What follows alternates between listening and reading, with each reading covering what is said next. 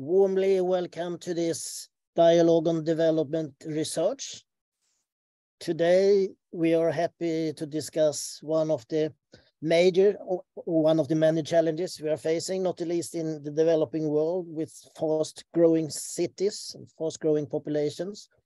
And we are really happy to have Tatu Mtwangi Limbumba here to talk about the pursuit, pursuit of modern city and affordable housing lessons from Dar es Salaam.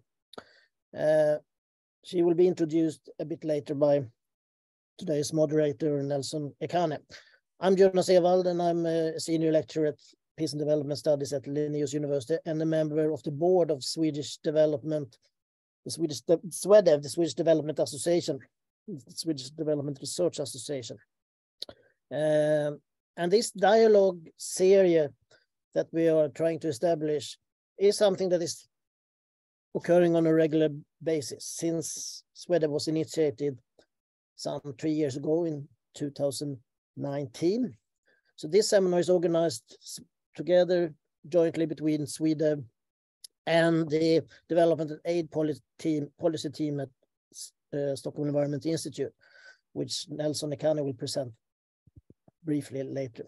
But just to say some, some words about the SWEDEV, the SWEDEV network aim to bring together development researchers in different academic environments in Sweden to facilitate contacts, building networks, facilitating exchange of ideas, and of course, in front of all, linking up in between different research environments, as well as to policymakers or civil society organizations working in a similar field. So this, this seminar series is an important part of that work, trying to establish a platform for exchange of important perspectives on challenging issues. Um, and of course, it's really important not only to bring together development researchers, but also development practitioners of various kinds. We have a lot of things to learn from each other. uh, and today we target one of the challenging issues that we are facing, urbanization.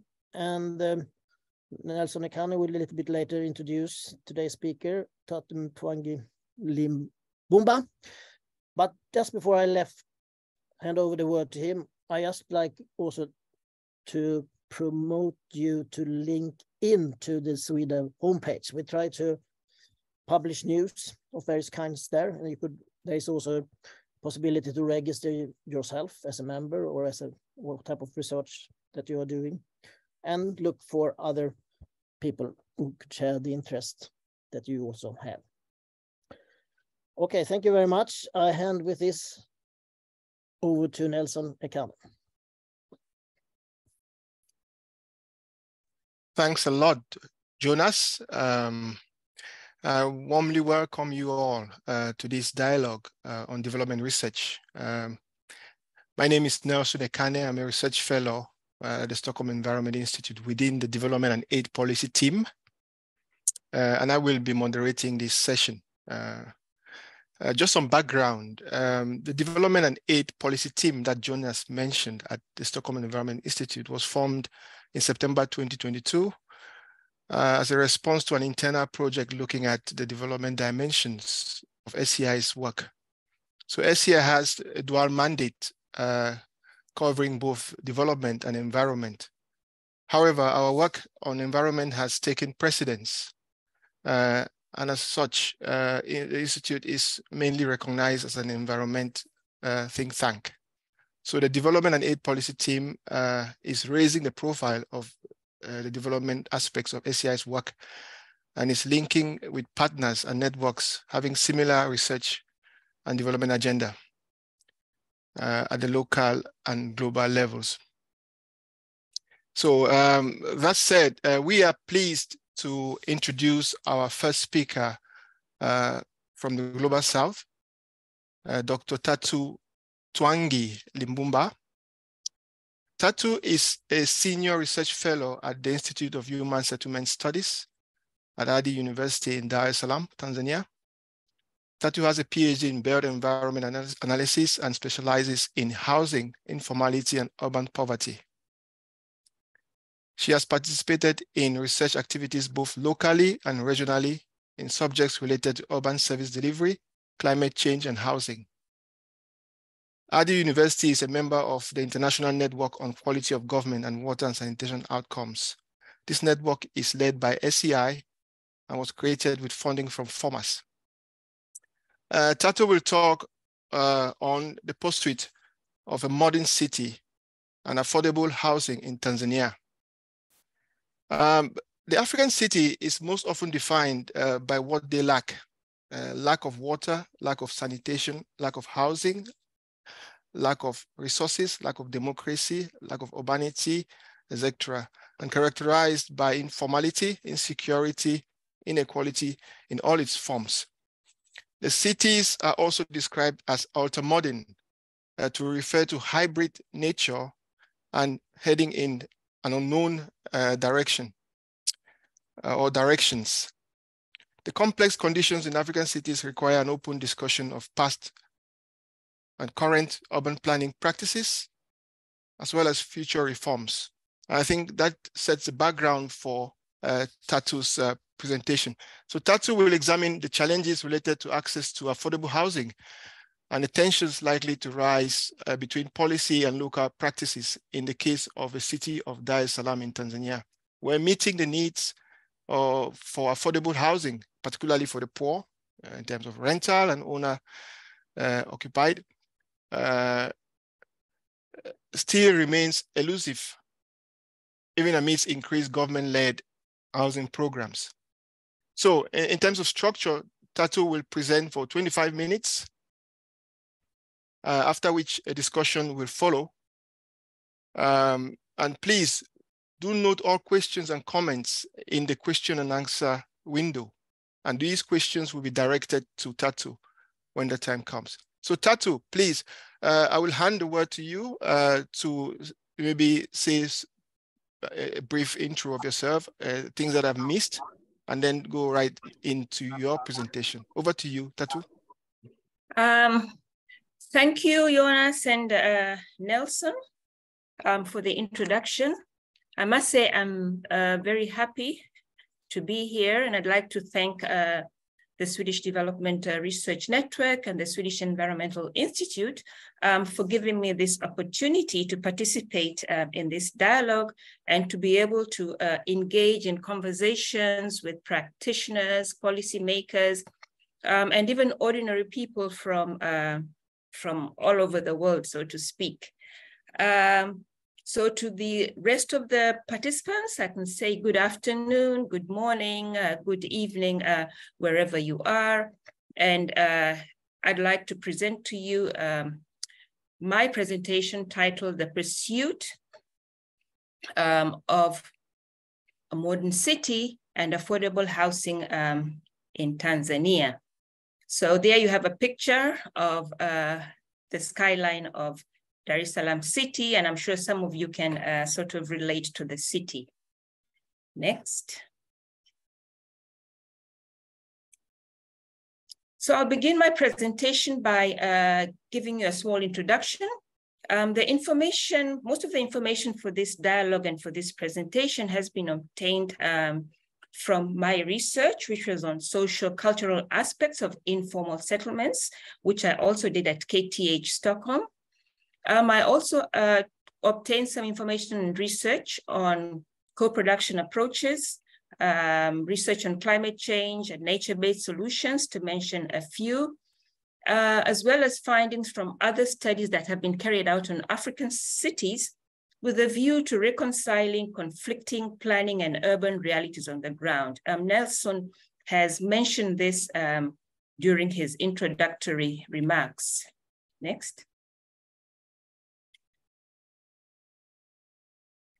Uh, so when we talk about urbanization in Africa, um, cities are experiencing unprecedented urbanization, and this is not matched with significant economic performance, unlike some of the cities um, in the West. Now, as a result, we have informality and urban poverty as an everyday reality, and it is estimated that by 2050, uh, most of the countries in African cities will have more than 50% of their population living in urban areas. Now, this phenomena is manifested quite starkly in uh, informal settlements and informal uh, economy, where, for instance, over 80% of the employment uh, is in informal, and many persons work in precarious environments. Next.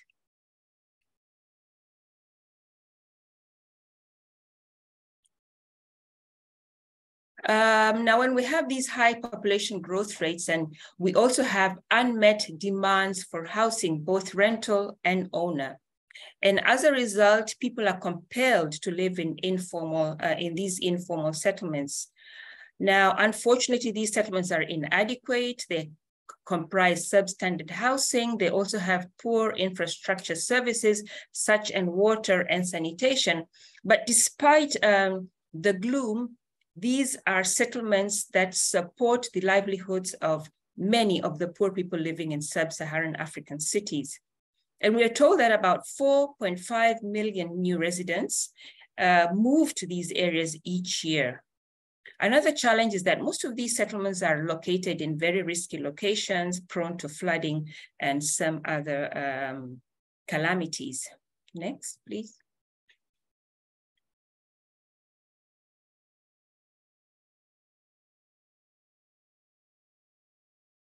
So with all the challenges in our cities, how do we achieve inclusive, safe, and sustainable cities?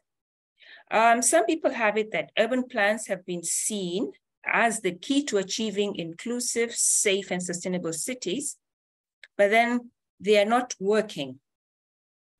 On the other hand, other researchers say that urban planning has done less to include the poor. And actually, when you have master plans, they sweep the poor away from the main city. And as, and as a result, these master plans, if not guided carefully, can be exclusionary. Next, please.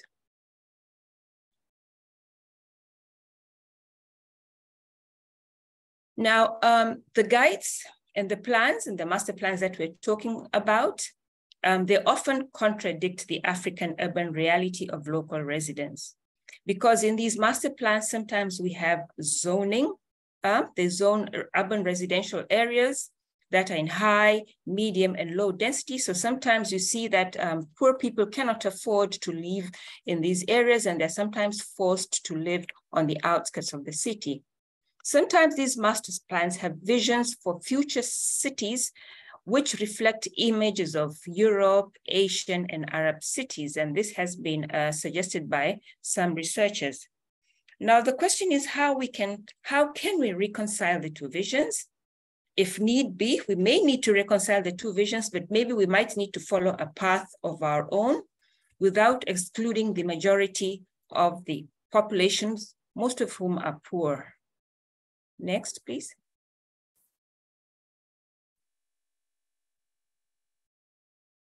So now I'm going to talk about Dar es Salaam city. This is the city where I live, and it's the city that I'm most familiar with. Um, Dar es Salaam is the largest city in Tanzania. It's about three times the second city, which is Mwanza, in terms of population. And according to the uh, Dar es Salaam Master Plan, which is for 2012, 2020, 2032, the city population is increasing by about 226,000 people per year and is doubling every 20 years. By 2025, it is projected that the city will accumulate about 6.2 million people. And these are some studies by the African Development Bank that have shown this projection.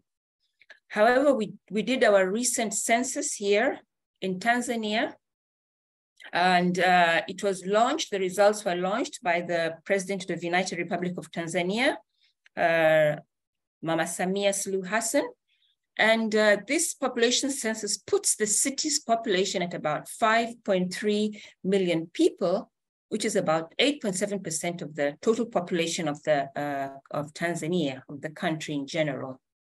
Next, please.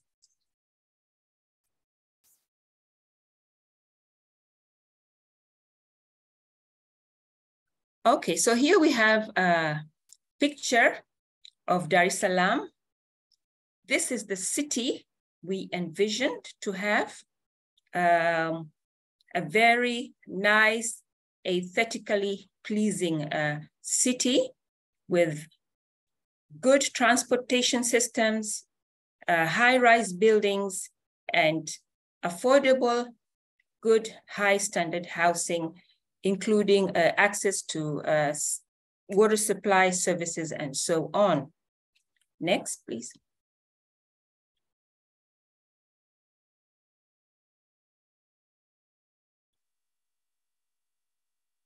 Um, the next slide that is coming up is trying to show um, a comparison of the cities we envision and the kind of city that we have now.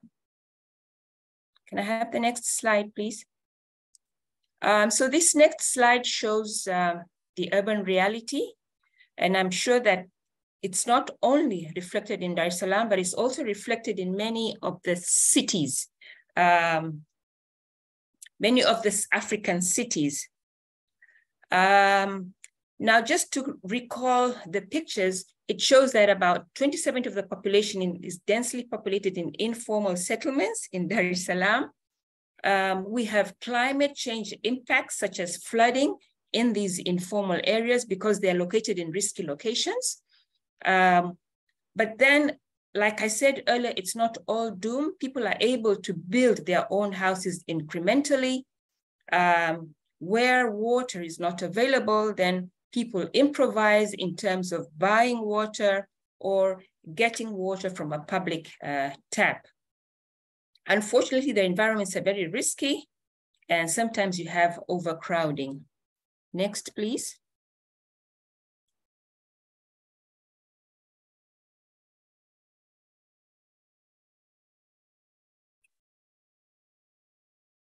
Um, this slide is a bubble uh, illustration to try and show all the uh, problems that, that we have in our cities. Um, but I can say that these settlements are socially and economically supportive of the everyday lives of the 70% um, of the population in Dar es Salaam we have 70% living in informal settlements, but we also have another 30% living in, in formal planned settlements. Now, my focus will be on the 70% of the population in Dar es Salaam um, and the kind of responses that have been done to meet the problems and the challenges in order to make livable cities. Next, please.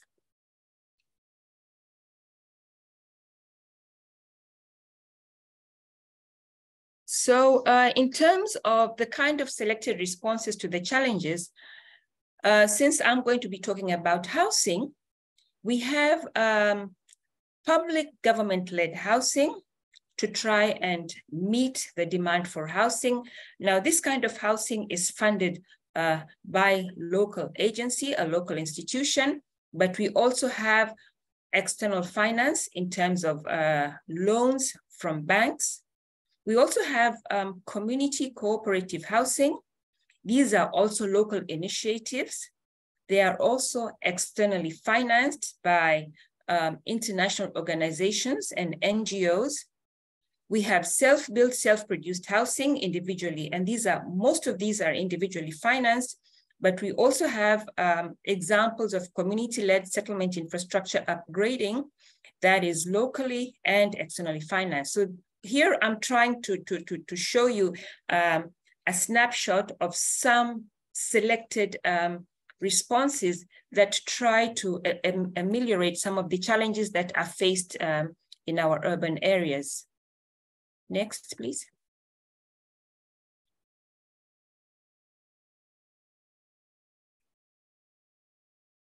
Next, uh-huh.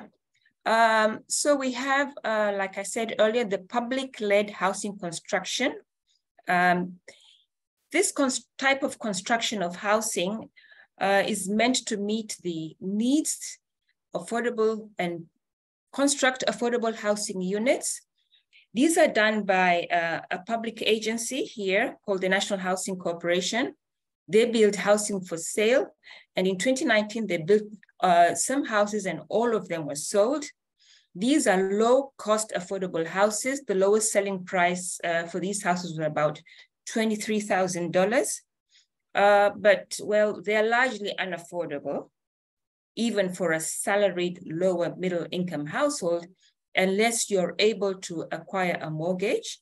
And that means you need to have a regular salary in order to service the mortgage. But they, are compatible with middle income lifestyles of which many people aspire to, to live. These are contractor built housing, most often in peri-urban locations, green fields, and sometimes they're disconnected and away from, uh, from the jobs. Next, please. So you can see how they are aesthetically very, very uh, pleasant looking. But we also have public-led mixed-use housing construction. Um, these target the high-end market um, this is a, the picture shows an example of Victoria Place, which is in Dar es Salaam. The motto here is you deserve a home, not a house. Um, this Victoria Place has uh, five types of residential apartments and they cost between $100,000 to $370,000. Um, the apartments contain facilities such as shopping malls, playgrounds, facilities, and uh, office accommodation an interview with one of the um, national housing uh, officials says, well, it's like a new city. This project will entirely change the surroundings of, actually the surroundings of that um, road. So this is quite modern looking. Next, please.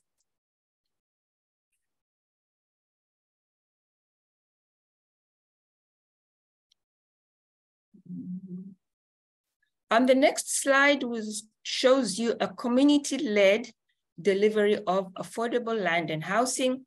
Um, this is uh, housing at community level. It's Chamazi and it's in the peri-urban outskirts of Dar es Salaam. Um, this project emerged from a need to house tenants. Um, these tenants were didn't have a place to go when their area was demolished to pave way for urban infrastructure, that is port expansion. And you know, when you have uh, houses are maybe demolished to give way to expansion, homeowners are usually compensated, but sometimes tenants are also left vulnerable. So their livelihoods were disrupted.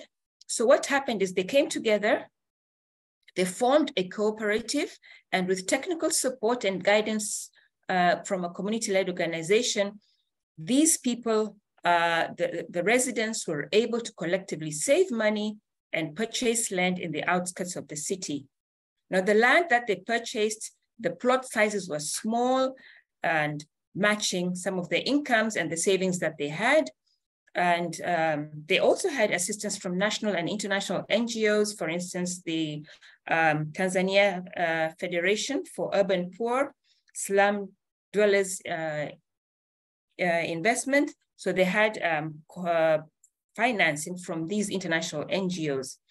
This cooperative prepared a master plan for that area and designated land for social and livelihood activities. So at this very local level, they were able to uh, make their own area for living. Next, please.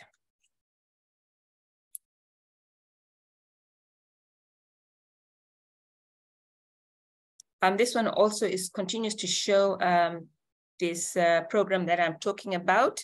Um, the houses were built by the community themselves. Uh, women played a very significant role in the activities and in the housing cooperatives. The construction costs were lowered uh, and incremental housing construction process was used. There was self-development of building materials uh, like bricks, and so this helped to lower the costs of constructions. The plot sizes were also smaller than the national urban planning uh, standards. Next, please.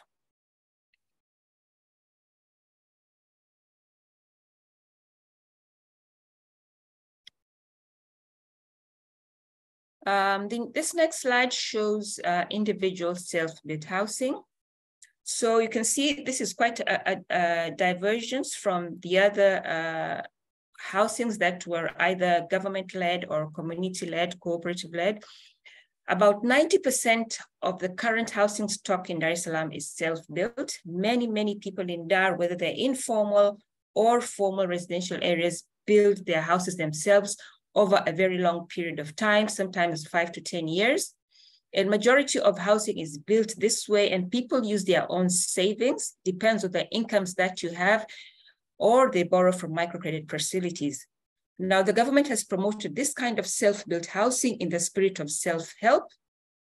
And the only challenge is that sometimes the construction needs to be guided um, to address the issues of substandard housing, uh, building these houses in risky environments, especially if the environments are informal, and also looking at health risks that are related to substandard housing.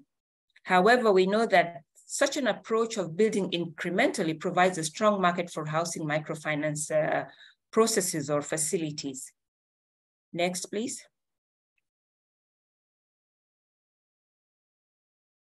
Uh, most of us in Dar es Salaam build this way incrementally.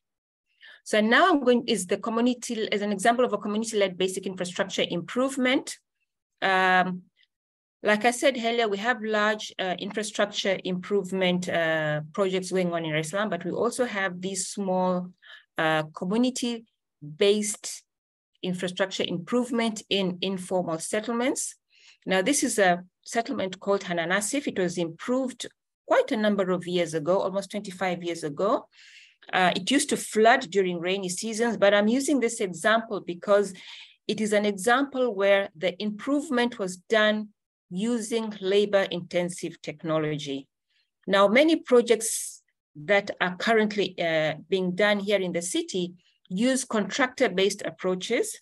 And sometimes when you use contractor based approaches, you deny residents the opportunity to work and improve their livelihoods, residents who live in those areas.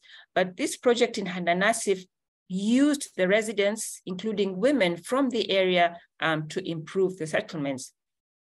So in other words, apart from having their area improved, their livelihoods were also improved because they were able to earn um, some income as laborers in these uh, construction projects. Next, please.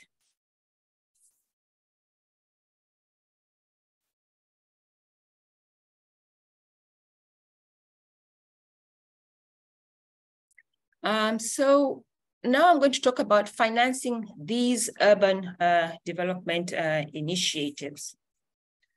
Uh, often local governments lack the financial resources to significantly implement interventions related to housing development. That's why sometimes you see um, some of these interventions are done by people themselves, for instance, building housing or improvement of uh, housing areas. These are done uh, by people themselves. Now, um, the share of national budgets to housing issues is minimal. Over here, uh, I had a graph that shows um, the share of housing um, subsidies uh, by the government. And this is very small. It doesn't go beyond 10% um, of the uh, national budget into housing, mm. for hmm. instance. Sorry, Tatu, that graph uh, doesn't show. Uh, maybe we tap again to see if it appears. Okay. It hasn't appeared. Now it. Okay, so it's, yeah, it's there now. So this graph uh, is to show the government budget dedication to housing subsidies. Um, we can see that um, the amount of money dedicated to housing is quite um, small. Um, in 2019 to 2020, indeed, um, the allocation was small, and that was because of the COVID-19, the, the pandemic, where most of the budgets went to um, addressing the effects of the pandemic. But nevertheless, it shows um, a very small amount of money by the government is put into the housing sector, unlike money that might be put in the health or the education uh, sector. However, Dar es Salaam is witnessing the development of large infrastructure projects. Most of these are financed by development partners.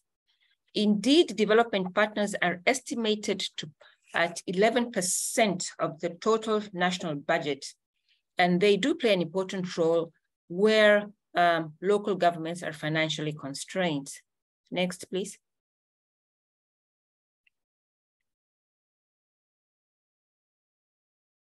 I'm not sure this is very clear, but this one is uh, an illustration or an example of selected projects that are being done in infrastructure, large infrastructure projects that are changing the vistas of Dar es Salaam and turning it into a well livable and modern city. We have the Dar es Salaam Metropolitan Development Program. Um, this is funded by the World Bank and it aims to strengthen urban services, infrastructure, but also make Dar es Salaam resilient to uh, climate change effects. Um, it has really helped in terms of connectivity and increased the resilience of the city. We also have the Dar es Salaam Bus Rapid Transit, commonly called uh, DART, funded by the African Development Bank Group. And this is a loan to finance the second phase of the BRT. We've completed the first phase, and this was a loan to finance the second phase. And we have had immense improvements in connectivity, reduced commuting and transport costs, especially for people uh, living in peri-urban areas. We also have the Housing Finance Project, uh, which is funded by the World Bank um, the aim is to develop mortgage market, housing microfinance, and expand affordable housing supply. Um, most of the houses are accessed by middle income earners. Um, they are able also to take long-term mortgages, loans, because they have regular incomes. But then um, people who have irregular incomes, the 70% who are poor, cannot really access um, these uh, mortgages, even the microfinance um, institution loans are a little bit difficult to access because they also need to be serviced by regular incomes. But like I said, these large infrastructure programs are making a significant impact on improving the environment of Dar es Salaam. Next, please.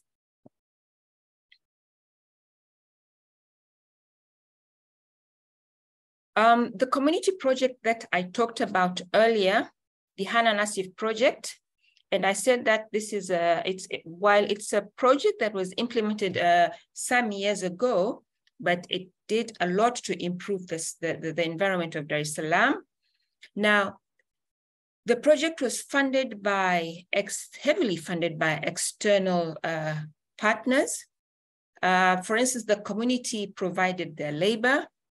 Um, local government also contributed in terms of expertise etc. So um, funding was really skewed towards uh, external funding.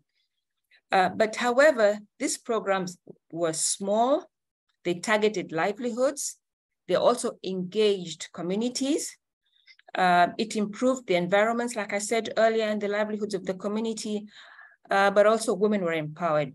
The only big challenge was scaling up this project was done in Hana Nassif, but it was not scaled up. The process or the approach, the labor-based uh, technology, labor-based intensive approach was not scaled up to other areas. Next, please.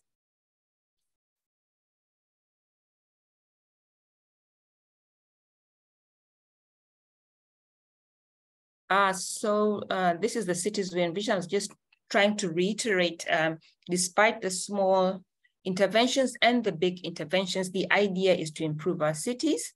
Next, please.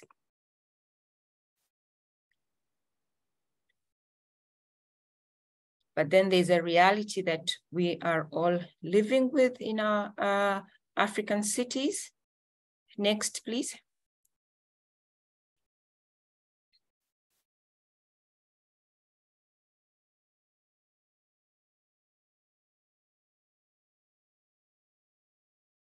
So in terms of reflection, um, looking at uh, what we aspire, the visions we aspire, and what is actually happening on the ground, uh, what I can say is that often development aid make enormous contributions to city development projects in Dar es Salaam and Africa at large.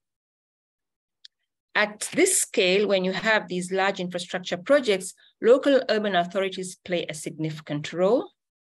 For example, in the DMDP project, that is the Dar es Salaam Metropolitan Development Project, it is anchored under the municipal councils, and it also contributes significantly to modernizing the city. But sometimes new plans and infrastructure projects sweep away the poor or are largely detached from the reality of 70% of the Dar es Salaam's population. Small scale grants and aid are significant at community level. We often have NGOs and CBOs implementing the projects that are funded by international NGOs and private foundations. However, uh, often governments are reluctant to allow international organizations to work directly with local organizations, understandably because of accountability and transparency issues. Next, please.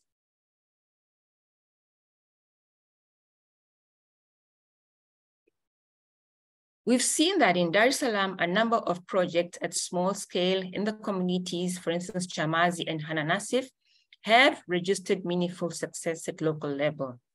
Now, this is typical of many successful community projects in African cities. Of course, there are some that are not successful, um, that have probably ended up midway, but those that are successful make an significant impact um, in the community. And like I said, many are not re replicated, the challenges in scaling up these projects, but also there is need to create long-term outcomes to get technical and political will in order to learn and change, to adopt innovative and non-conventional interventions that often have external funding. Not every one of us as professionals want to embrace or adopt innovative and non-conventional interventions um, because sometimes they go against what we've been taught um, in class. Next, please.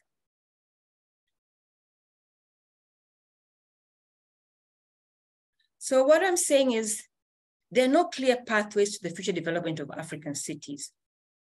The kind of cities we imagine is, well, it's still not clear because we have a lot of visions that we aspire.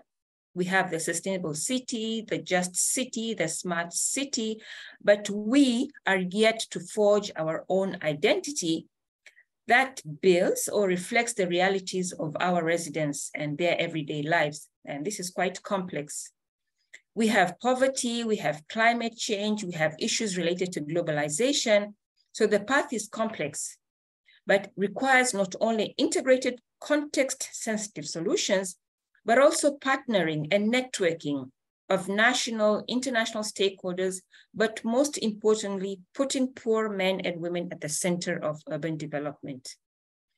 We need to reduce the gap between teaching, research, and practice and as an academician, I think this is very important. At Ardhi University, where I work, with help from SIDA, we're making great strides in this aspect. Um, some of the results include we have over 60 staff that have been trained in PhD, but we were also able to develop a university research agenda that, among others, aims to ensure that our results are translated into policy as well as solutions that are relevant, context sensitive um, at the community level. So this, I think, is very important. I think this is the last of, uh, of my slides. Okay, thank you um, for listening. Thanks, Tatu, for that very yep. interesting presentation. Um, I will uh, now, you know, open the floor for uh, discussion. And as I indicated in, in the beginning, uh, questions should come through the question and answer window there, not the chat. So we, we've gotten uh, some questions already. Uh, and I think I will start. I have a few.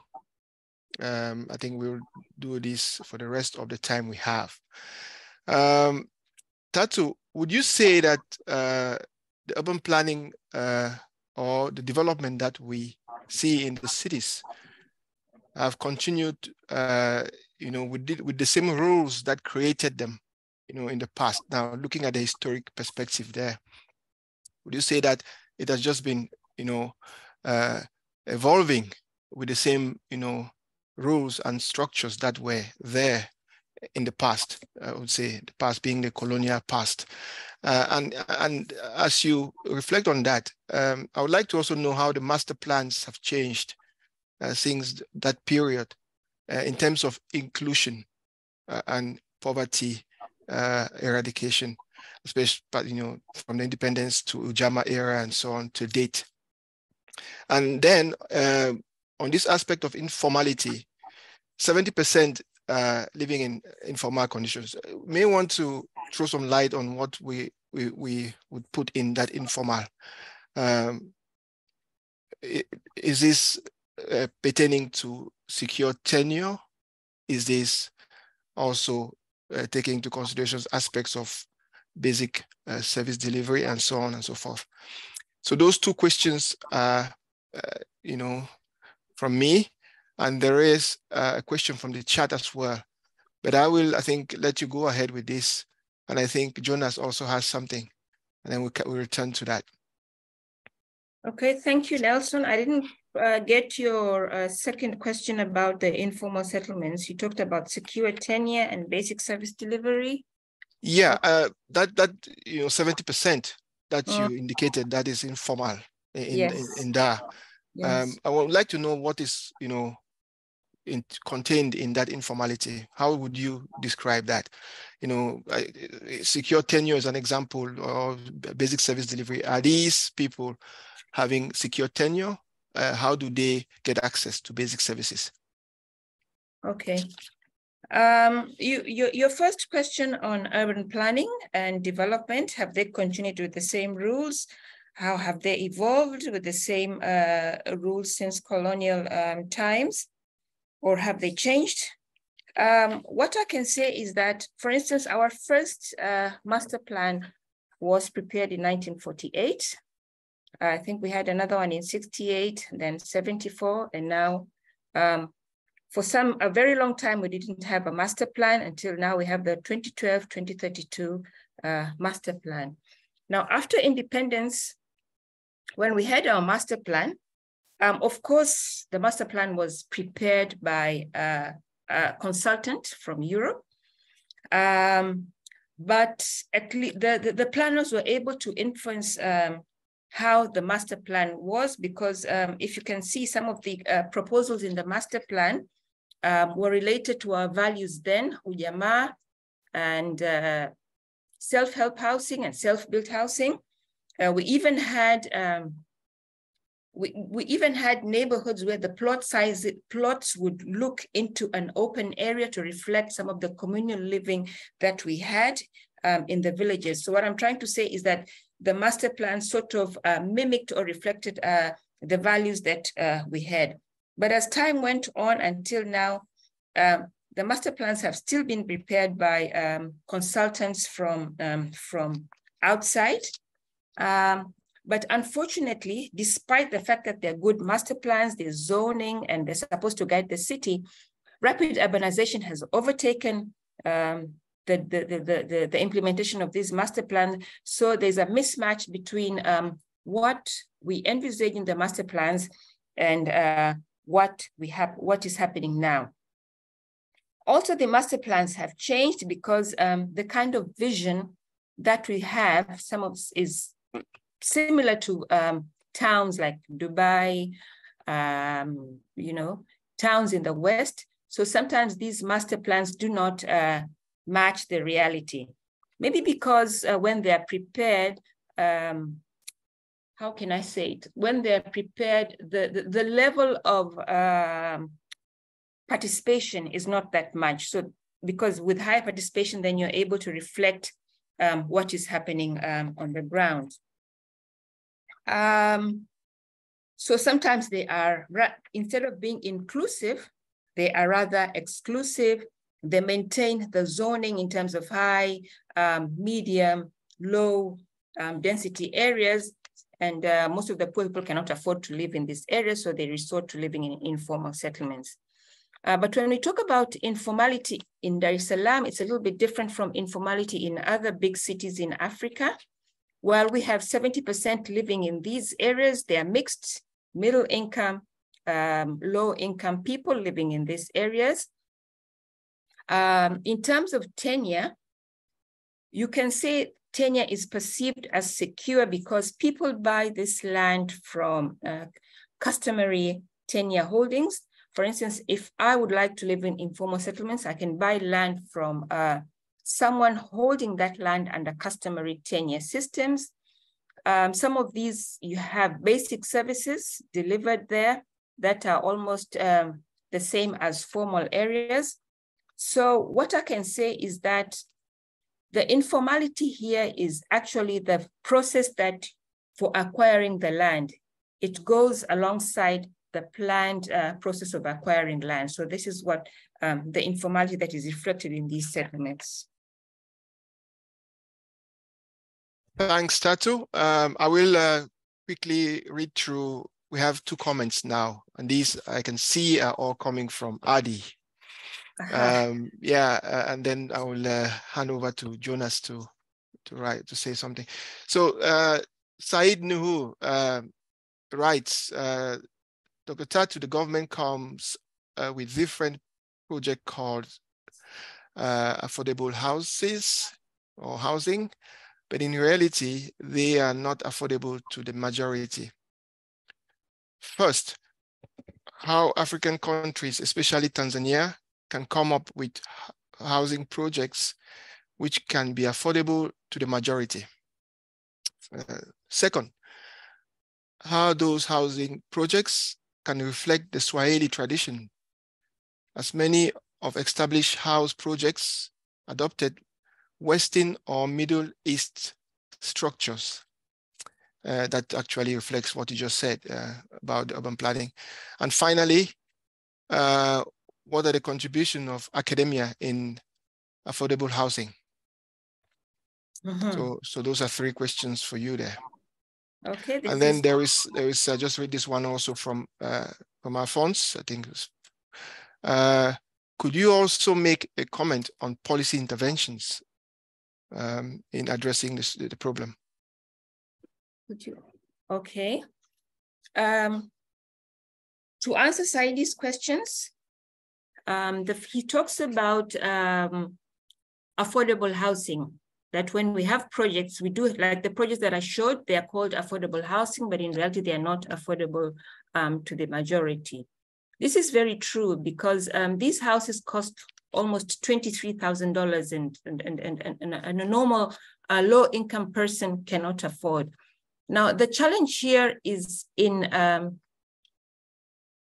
the challenge here is in how these, um, the challenge is in how these housings are being uh, constructed. They are being constructed by the National Housing Corporation, which is the biggest public agency for constructing the houses. Now, the National Housing Agency tells that when they construct the houses, they need to buy land, they need to buy building materials, etc., just as a real estate um, institution might need to. So they cannot afford to put the housing at a very low um, affordable price because of the inputs that are into the housing. They makes, it makes them quite expensive. So rather than do that, maybe the government could offer subsidies to such a national housing corporation, or instead of buying land like uh, on market-based prices, maybe they could get also um, some subsidized land. Um, Saidi also talked about, um, what was his, uh, his other question? Swahili culture. Uh, the Swahili. Swahili culture, yeah. Yes. Um, in fact, when, when the National Housing Corporation, for instance, when it was built or established in 1962, they built affordable housing um, for uh, civil servants. And these housing actually mimicked um, the Swahili culture where you had um, a courtyard and uh, the facilities like sanitation facilities on the outside and kitchens on the outside. So this kind of mimicked the values um, that were there then. But then uh, right now you have uh, housing like the housing that are built by the National Housing Corporation. They are modern type housing. And I would imagine if they were to build housing that were not so modern, maybe they might not get um, they might not get people to buy this housing. Because as countries progress, you have the middle class coming up And this middle class usually has their own demands and types of, of housing. So now there's a mismatch between catering for um, low income population and also catering for the growing uh, middle class. So rather than have a big institution providing housing, maybe these other housing projects that I talked about at local level um, could also be supported. Thank you. And then lastly, the contribution of academia. Just briefly, I think we have three other questions, and then I think Jonas, we'll just do a last round because we have five minutes before we close. Uh, we'll go to the closing remark. So um, I withdraw. Some, okay, something about the contribution of academia, and then I'll read the other questions.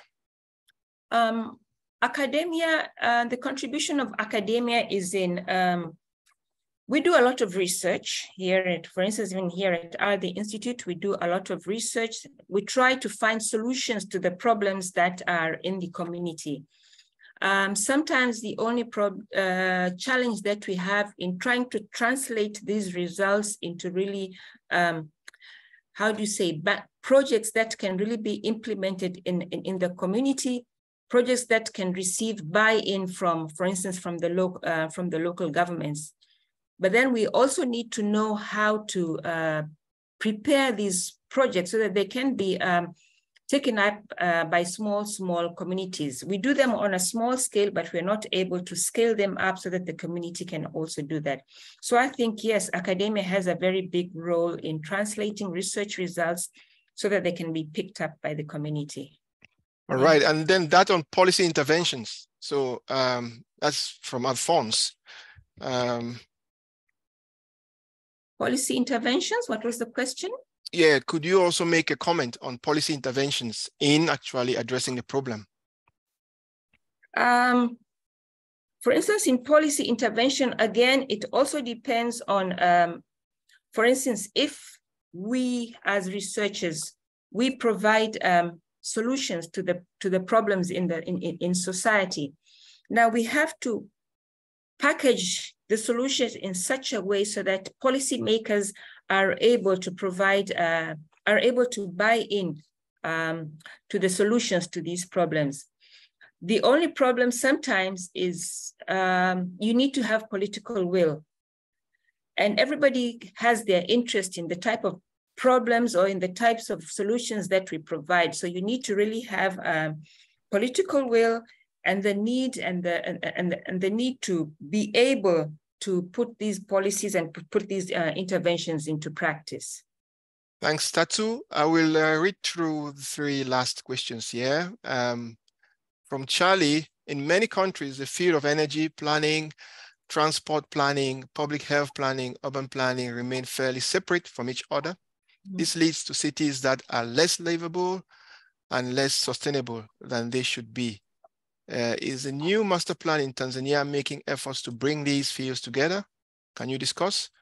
Um, Emmanuel writes, how have uh, the politics of urban planning affected human security in general? Regarding the cases of areas like Mbweni, which has experienced the impacts of unregulated resident patterns in the current years. And then Howard writes, I miss the linkage between all the key players in the housing sector mentioned in the presentation, including government, academia, and communities. What we are missing is a partnership with private sector. So over to you, uh, a couple of minutes. Okay, um, um, the, the question by Charlie on um, the, the, the missing link and uh, not the missing link, that these public health planning and urban planning remain fairly separated from each other. Um, yes, we have a fragmented planning, um, but then in the new master plan, we're trying to, uh, even during the process of preparing this master plan, there was a special um, effort to bring together the different um, the different sectors so that they can uh, present the master plan so that they can contribute um, towards uh, the master plan. And then we have Emmanuel, I think we have, uh, time is almost running. Um, the politics of urban planning affected human security in, in, in general. um, when he talks about um, unregulated residential patterns in the current years. Yes, um, Mbweni has experienced impacts of unregulated residence patterns, but also we have had um, the 20,000 plots uh, that has uh, been done in Mbweni in order to try and uh, provide plots um, that are planned.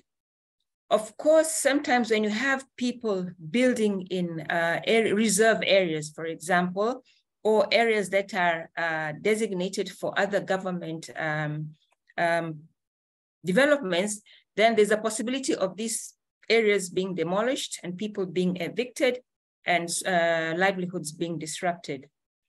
Uh, private sector, when engaged right from the beginning, may be able to bring in innovation in terms of financing and affordable housing. This is very true. Uh, this is how from Zambia, this is very true. And indeed, uh, we're having, we're going to have a very big workshop in about three weeks to come by the National Housing Corporation, trying to look into how the private sector can contribute um, into housing development. They call it the Public-Private uh, Partnership uh, Conference. So I agree with uh, the, the statement by Hawa. Yes. Um, thanks, uh, Tatu. I think we will uh, stop there. Um, th there are many other questions, uh, you know, coming up, and I think for the sake of time, we need to close. Um, just thanking uh, you again for a very interesting presentation and thanking the, the, the, participants for joining and for asking very engaging questions. So over to you, Jonas, for closing. Okay, thank you very much. Asante sana, Tatu. It yes. was a, a, very good uh, illustrated case you presented.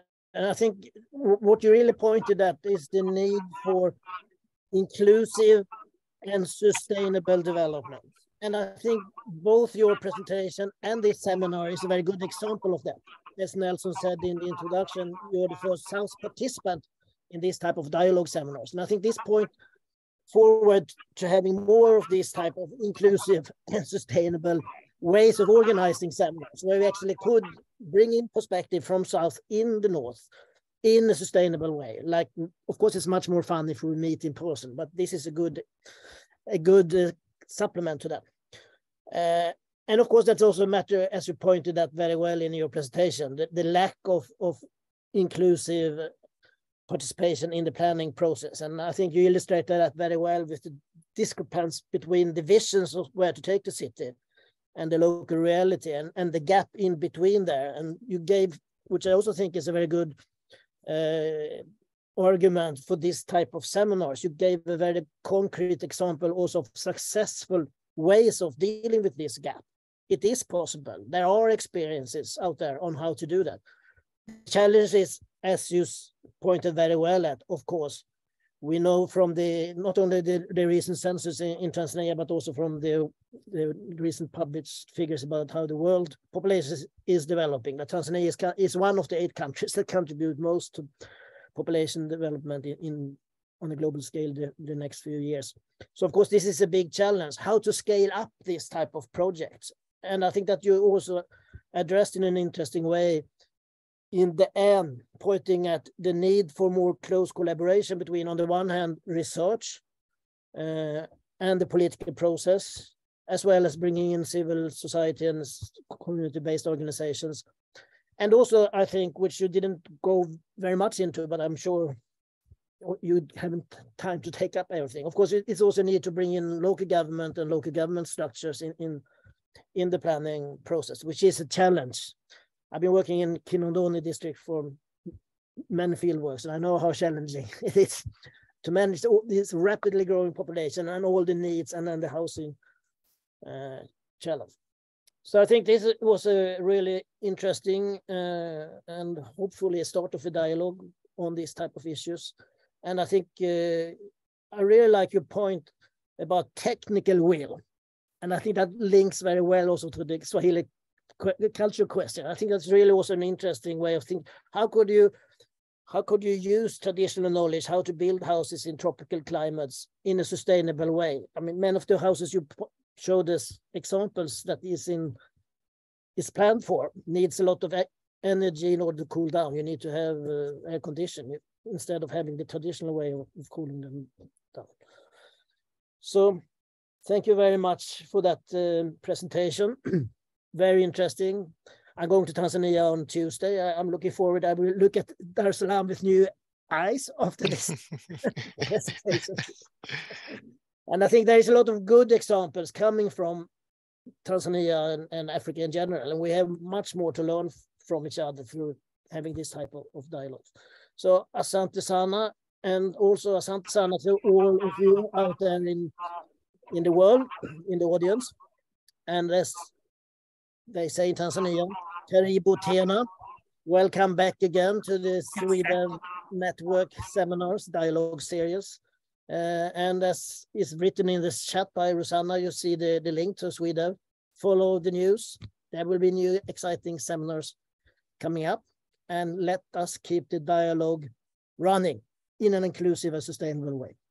Thank you very much, all participants and all panelists. Yeah, thanks and uh, bye. Thank bye. you very much. Yeah, bye-bye.